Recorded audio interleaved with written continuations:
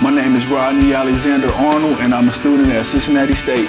After I graduated high school, I wanted to come to college, but things don't go as planned, so I didn't get to come straight out of high school. Never let nothing get you down. Just keep pushing for your passion. Don't give up. I come to Cincinnati State, didn't procrastinate, never let nothing got me down, and I made it.